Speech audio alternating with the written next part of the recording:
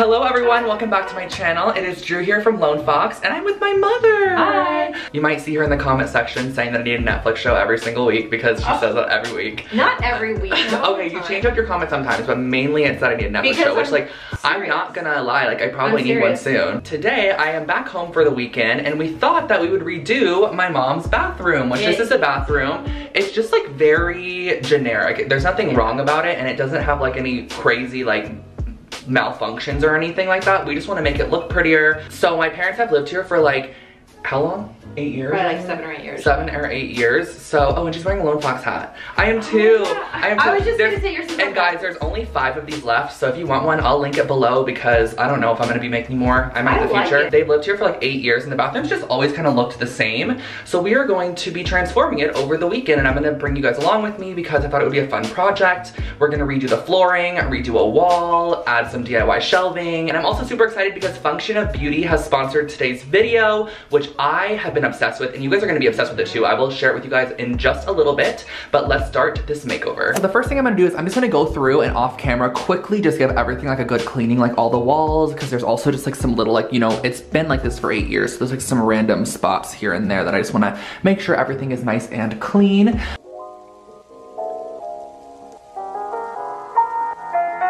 Another super important element that I wanted to feature is that my dad actually already went through and repainted all of the cabinet in here. So this used to be like a light oak color, like your traditional kind of oak tone. I'll put a picture of like kind of what it looked like right here so you can get a visual of it. But he went through and actually sanded everything down and painted it all black and it looks amazing. So while I wait for the wall to dry, which I just cleaned the wall, guys, look at this flooring. So this is peel and stick flooring. These are actually pretty thick sheets and I got this pattern right here, which I got these on Amazon. I'll link the exact one I got below. This is one pack of 10 sheets and I believe it was only like nine or $10 for this whole little section here.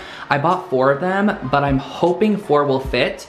From my recollection of this bathroom, I thought it was a little bit smaller than it is, but it actually has a little bit more floor space than I thought. So I'm obsessed with this pattern, by the way. It just reminds me of some kind of like vintage tile work. This also comes in so many stunning, like different variations. So I'll put a little pop-up of the screen right here. Like there are so many different ways that you can get this tile done. And I think I'm just gonna start with the floor because I'm gonna wait for the wall to dry prior to sticking on the peel and stick.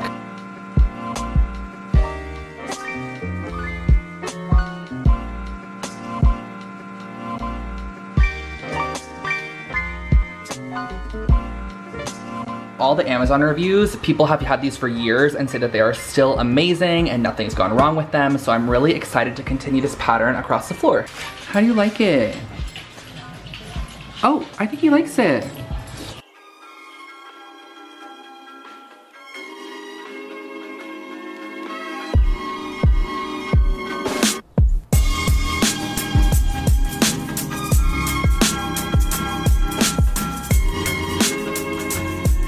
So in more trickier situations, like this little corner piece right here, as you can see, we have to kind of wrap it around there. What I did was I just kind of started using my scissors and just cutting away little tiny chunks.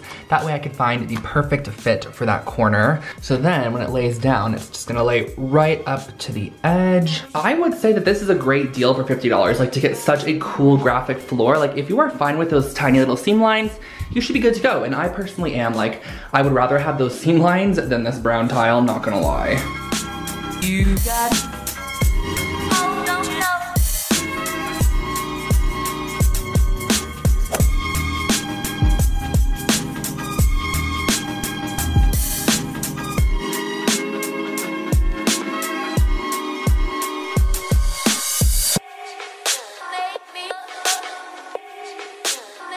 So I just finished up the flooring and I started working on the brick wall as well. But before finishing off the brick wall, I want to talk about today's video sponsor, which is Function of Beauty. Now you might be asking yourself, Drew, what are these aesthetically pleasing bottles? Why do they look so nice on the shelf right there? What are they serving a purpose? Well, these are actually shampoo and conditioners that are fully customized to your hair needs and your hair wants, which is absolutely amazing. And you can also customize the scent and the colors, and they even say function of Drew on them. I took the two minute quiz online, which you can do as well. And it basically outlines your hair type, your hair goals, personalized preferences, and you can also choose your fragrance and color as well. So again, I opted at going for like the pink and orange color tones, and the fragrance I used was the mandarin peach scent, which smells amazing by the way. It's literally perfect. You can even choose like mild, medium, or strong fragrance. Like I just chose mild for a little touch, you know? And their products contain no parabens, no toxins, no GMOs, no sulfates. They're 100% vegan and cruelty-free as well. So all around, you're just putting a ton of natural product in your hair and you know there's not too many chemicals in there. And I know I'm wearing a hat at the moment, but I'm going to insert some clips of me with my hair washed and styled how I typically do it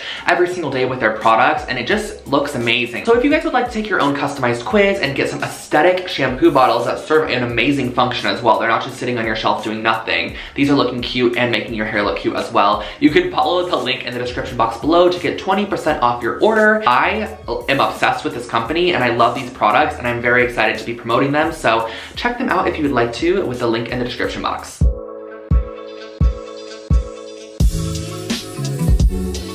It is now the nighttime as you can see because it's dark, but I wanted to show you guys how easy this is to peel off. Like it's not gonna ruin the paint underneath. Look at this. Okay, so it peels off like that, nice and simple, um, but it has enough grip to stay nice and secure on the wall as well. Just gonna finish up this edge here, and I'm probably gonna do one more row across the top. All right, so the lighting looks Okay, the light, ew, the lighting looks so bad. All right, guys, so it's been a couple hours since I last talked to you, and I've done a little bit more of the brick. As you can see, it's kind of cascading over onto this wall.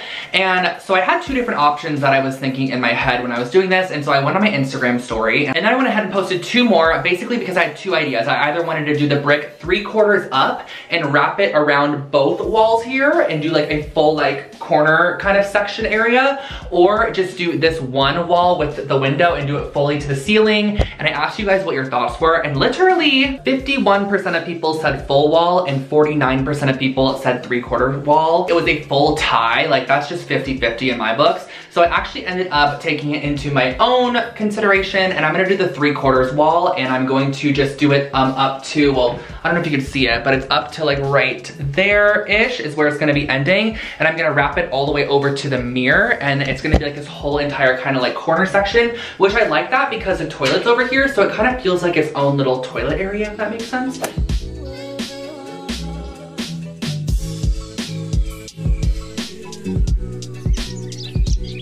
Morning, it is now Monday, continuing on with the makeover. I actually forgot my shaver at home, so my facial hair is getting like nice and down my neck, just letting you know.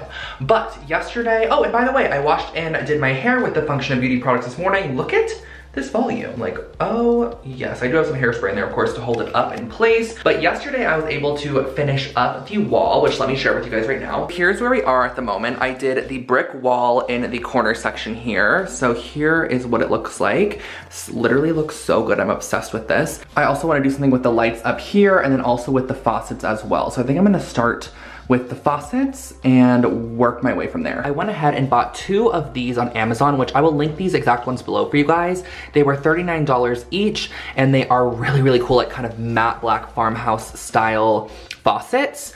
And I'm going to install these right now. I've never installed a faucet before, so let's see how this goes.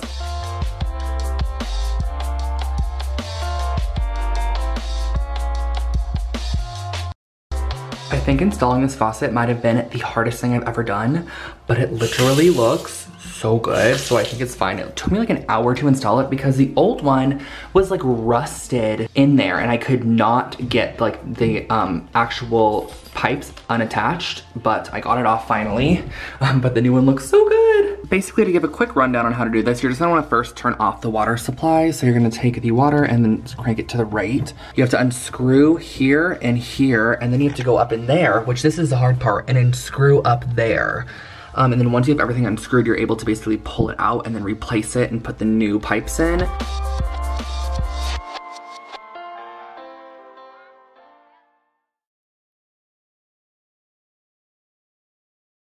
Share with you guys what I picked up at Walmart. And I am typically not a huge Walmart shopper, and that is just because there isn't really a lot of Walmarts in Los Angeles. You would think there are, but I honestly only know of one, and it's probably like 45 minutes away from my apartment, and there's probably like 15 Targets within a 10 mile radius. So I just tend to shop at Target more. Now, my mom wanted to add like a little pop of color because she just is really into color. So I got these two different shower curtains. This one's kind of like a sky blue, minty green color. Um, and then I got this one as well, which I kind of want to use this one, which is the Better Homes and Gardens. And it kind of has this stripe on it. And then it has some tassel fringe at the bottom. Also got a black bath mat. Picked up a couple bathroom organizers, this pump, this little toothbrush holder, and this one as well. Also got some black shower rings. And I also did get a black shower curtain rod, which is in the other room. This super cute trash can with a little brass top on it. I got this nice big basket, which was $17, which I thought was a really great price. And just a couple couple of towels. I got this one, which was really cute, this white one,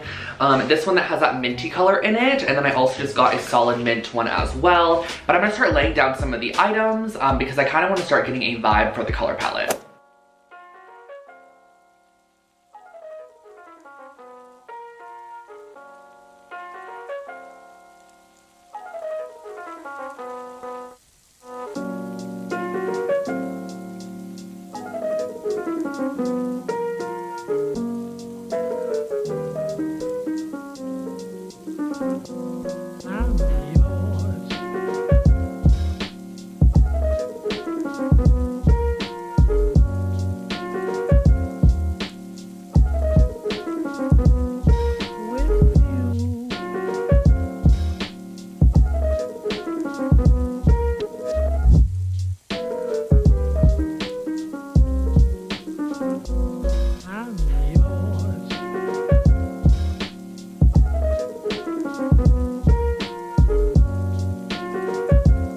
To make these simple shelves, I actually had my dad cut down two pieces of this scrap wood to 24 inches in length, and then I used the early American stain, which is the stain I always use to add a little bit of warmth to the wood.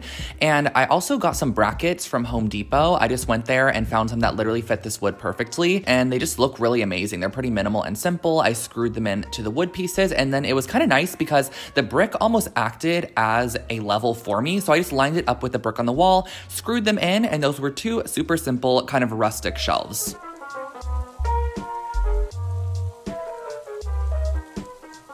Wow, you guys, I just finished adding the two shelves that I wanted to add because I just felt like it needed something above the toilet and I ended up staggering them just a little bit because the toilet's not centered on this wall as you could see, so I centered the shelf and it just seemed off-put and then I added one more above and it looks so nice. I put those on there because, you know, they're pretty, so why not?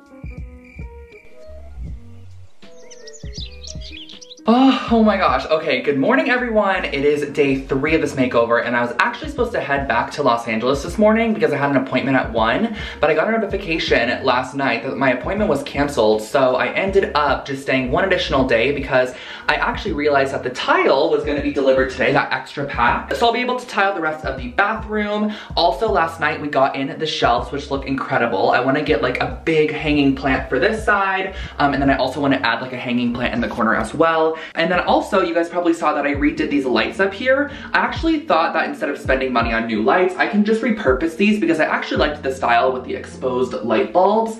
I think it would also really be cool to get like the frosted white light bulbs in here to kind of give that retro vibe. And I'll post a picture of what I'm talking about here. Like that's kind of where we are with the bathroom at the moment. So I'm gonna go ahead and do the tile work and catch you guys in a second. All right, so 30 minutes later, I finished all the tiling around the tile and I actually did a pretty good job. So that finishes off the entire tile section, which I'm very happy because I didn't think I was gonna be able to finish that in this video. It's looking like this. So I had the shower curtain basically touching the floor, but I actually lifted it about six inches or so. And I think it looks amazing like that. So it kind of just gives a little bit of separation between this pattern and then the pattern on the floor. I'm gonna quickly go to Home Depot, get a couple of plants to finish off this bathroom, and I think we're gonna be good to go. I also have these cute little plant hangers, which I actually was gonna sell on my online store a while back, but I just never decided to do so, so they're just kind of sitting here.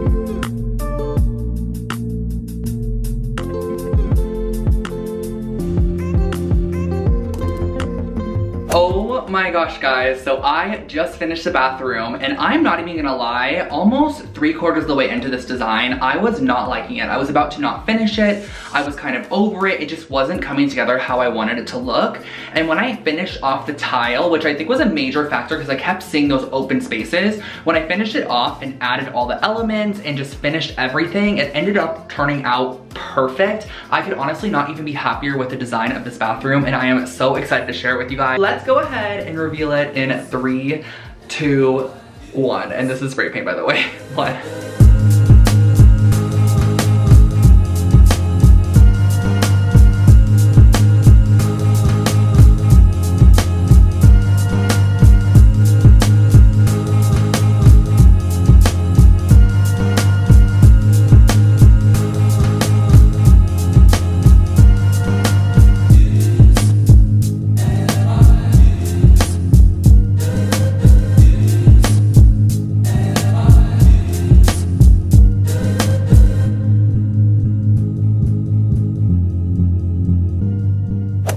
Wanted to do a little talking portion because look at, uh, guys, look at this.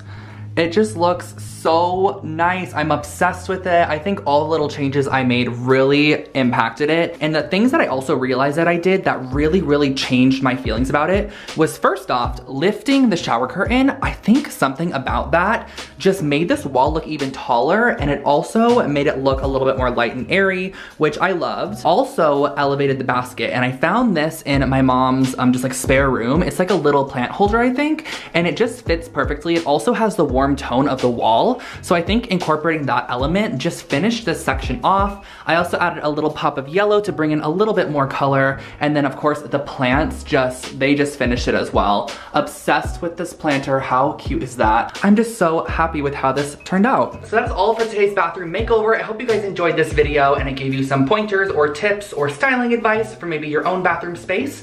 Um, and I really like how I didn't have to paint. I was honestly dreading the color halfway through with how white the subway tile was, but it ended up looking amazing with all the styling elements and I'm really happy with the outcome of it. And I also wanna thank Function of Beauty so much for sponsoring today's video. I have them right here. I know they traditionally wouldn't go right here by the way, but I just put them there because they were really pretty bottles, so I wanted to display them. Do not forget to subscribe to Lone Fox for brand new home decor and DIY videos every single week and click the little bell icon next to the subscribe button. That way you are notified when I upload new videos. And yeah, I'll catch you all in my next video. Have an amazing day. Bye guys.